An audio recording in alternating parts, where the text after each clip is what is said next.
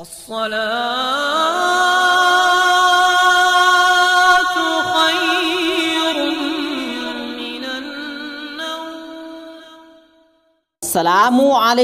वरहमतुल्लाहि वबरकातु प्यारे दोस्तों, आज की इस वीडियो में हम बात करने वाले हैं, दुआ मांगते वक्त दो गलतियाँ नहीं करना, वरना कोई भी दुआ कबूल नहीं होगी। तो दोस्तों, वो दो गलतियाँ कौन कौन सी हैं, आगे हम आपको इस वीडियो में बताएँगे। और दोस्तों, इसके साथ साथ हम आपको ये भी बताएँगे कि नबी करीम हजूर सल्लल्लाहु अलैहि वसल्लम ने इरशाद फरमाया पाँच चीज़ें इंसान को तबाह व बर्बाद कर देती हैं। तो वो पाँच चीज़ें कौन कौन सी हैं, ये भी हम आपको आज की इस वीडियो में बताएँगे। तो दोस्तों, आप लोगों से गुजारिश है, आप लोग इस वीडियो को आखिर तक ज़रूर देखें और हो सके तो अपने दोस्तों में भी इस वीडियो को ज़रूर शेयर करें। तो चलिए वीडियो शुरू करते हैं। दोस्तों, दुआ के बारे में आता है कि दुआ करना भी इबादत है। दुआ के बगैर इबादत का मज़ा ही नहीं होता। दोस्तों, जो बंदा दुआ नहीं करता, उसके दिल को सुकून नहीं मिलता। दुआ के अंदर अल्लाह पाक ने सुकून रखा है, उम्मीद रखी है। हम लोग दुआएँ तो बहुत मांगते हैं, लेकिन दुआओं के अंदर गलतियाँ भी करते हैं। जिनकी वजह से हमारी दुआएँ कबूल नहीं होती, फिर हम अल्लाह पाक से शिकायत करते हैं, लोगों से शिकायत करते हैं कि हमारी दुआएँ कबूल क्यों नहीं होती। तो दो गलतियाँ ऐसी हैं जो अक्सर हम दुआओं में करते हैं, जिनकी वजह से हमारी दुआ कबूल नहीं होती। दुआ के अंदर हमारी पहली गलती ये होती है कि हम दुआ तो मांग लेते हैं, लेकिन हम अपने गुनाह माफ़ नहीं कराते। हमारे गुनाह इतने ज़्यादा होते हैं कि दुआ के अंदर कबूलियत में वो रुकावट बनते हैं। जैसे कोई बंदा अल्लाह पाक की नाफरमानी करता है और उसके बाद तोबा किए बगैर दुआ करता है तो उम्मीद है कि उसकी दुआ कबूल नहीं होगी। क्योंकि दुआ के आगे गुनाह आ जाते हैं, इसलिए जब भी दुआ करें तो अल्लाह पाक से मुआफ़ी मांग लें। एक अल्लाह के वली से पूछा गया कि हमारी दुआएँ कबूल क्यों नहीं होती? तो उन्होंने कहा कि गुनाहों की वजह से हमारी दुआएँ कबूल नहीं होती।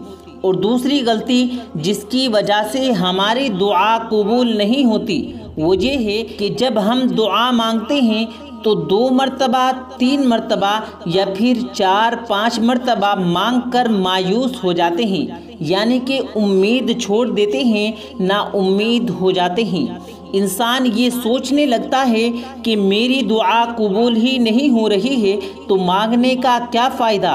लेकिन इंसान ये नहीं सोचता कि हो सकता है इसमें अल्लाह पाक की कोई ना कोई हमत हो। नबी करीम सल्लल्लाहु अलैहि वसल्लम ने इरशाद फरमाया कि बंदे की दुआ उस वक्त तक कबूल की जाती है जब तक वो दुआ में जल्दी ना करे। जैसे ही बंदा दुआ करने के बाद जल्दी करेगा, सब्र नहीं रखेगा तो उसकी दुआ कबूल नहीं होगी। तो दोस्तों, दुआ के बाद सब्र रखना चाहिए, तभी हमारी दुआएँ कबूलियत को पहुँचती हैं। दोस्तों, अब हम आपको बताते हैं, नबी करीम हुजूर सल्लल्लाहु अलैहि वसल्लम ने फरमाया, पाँच चीज़ें इंसान को तबाह बर्बाद कर देती हैं। तो वो पाँच चीज़ें जिनके बारे में प्यारे नबी सल्लल्लाहु अलैहि वसल्लम ने फरमाया कि पाँच चीज़ें इंसान को तबाह बर्बाद कर देती हैं, वो कौन सी हैं? आइए हम आपको बताते हैं। नंबर एक, गुस्सा करना। दोस्तों, इंसान को बात बात पर गुस्सा करना मुनासिब नहीं। नबी करीम सल्लल्लाहु अलैहि वसल्लम ने इरशाद फरमाया कि पहलवान वो नहीं जो लोगों को पछाड़ देता है, बल्कि पहलवान वो है जो गुस्से की हालत में अपने नफ्स पर काबू रखे। नंबर दो, हसद। दोस्तों, किसी को भी खाता पीता या फलते फूलते हालत में देखना और फिर देखकर जल जाना और उसकी नेमतों की जवाल की तमन्ना करना। इस ख़राब जज्बे का नाम हसद है। नबी करीम सल्लल्लाहु अलैहि वसल्लम ने फरमाया कि हसद नेकियों को इस तरह खा जाता है, जिस तरह आग लकड़ी को खा जाती है। नंबर तीन, लालच। दोस्तों, लालच एक बहुत बुरी चीज़ है। लालच में आकर इंसान वो कुछ कर बैठता है, जिसकी वजह से उसे बाद में पछताना पड़ता है। एक हदीस शरीफ में आता है कि अगर आदमी के पास दो मैदान भर कर सोना हो जाए तो फिर वो तीसरे मैदान को तलब करेगा कि वो भी सोने से भर जाए। और इब्ने आदम के पेट को कब्र की मिट्टी के सिवा कोई चीज़ नहीं भर सकती। और जो शख्स इससे तोबा करे तो अल्लाह उसकी तोबा को कबूल फरमा लेगा नंबर चार, कंजूस। दोस्तों, बखीली बहुत ही मनहूस खसलत है। नबी करीम सल्लल्लाहु अलैहि वसल्लम ने इरशाद फरमाया कि धोखेबाज और बखील और एहसान जताने वाला जन्नत में दाखिल नहीं होगा। नंबर पाँच तकबर ये शैतानी खसलत इतनी बुरी और इस कदर तबाह कुन आदत है कि ये भूत बनकर जिस इंसान के सर पर सवार हो जाए तो समझ लो उसकी दुनिया और आखिरत दोनों तबाह हो जाती हैं। हदीस शरीफ में आता है कि जिस शख्स के दिल में राय के दाने बराबर भी ईमान होगा, वो जहन्नुम में नहीं जाएगा। और जिस शख्स के दिल में राय बराबर भी तकबर होगा, वो जन्नत में नहीं जाएगा। दोस्तों, अब हम आपको बताते हैं हज़रत अली शेर खुदा ने इरशाद फरमाया, तीन औरतें अल्लाह पाक को बहुत पसंद हैं। तो वो तीन औरतें कौन कौन सी हैं? आइए हम आपको बताते हैं। एक मर्तबा हज़रत अली से एक शख्स ने सवाल पूछा, या अली, बेहतरीन औरत कौन सी है?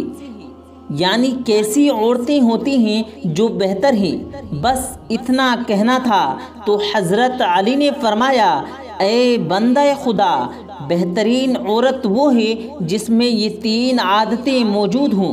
तो वो शख्स कहने लगा, या अली, वो तीन आदतें कौन कौन सी हैं? बात जब यहाँ तक पहुँची तो हज़रत अली शेर खुदा ने इरशाद फरमाया, वो तीन आदतें ये हैं। नंबर एक, हज़रत अली ने फरमाया, पहली आदत कि वो अपने मर्द के ऐब ज़माने के सामने आशना न करे, क्योंकि अल्लाह ने औरत को घर की बातें छुपाने के लिए पैदा किया, घर के सुकून के लिए खल्क किया।